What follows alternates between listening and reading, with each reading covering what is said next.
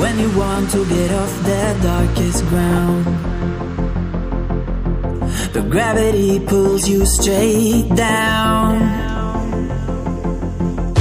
Earth from a bird's eye view. You should grow feathers and see this too. When you want to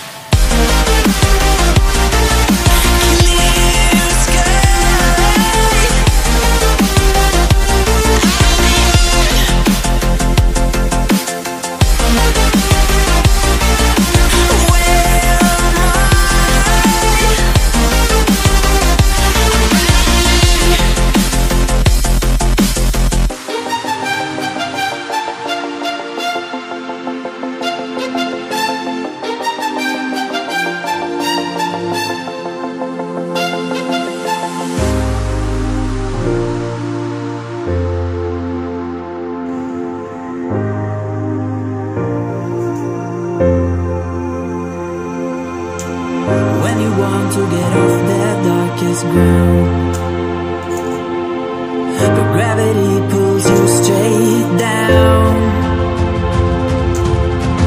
Earth from a bird's eye view.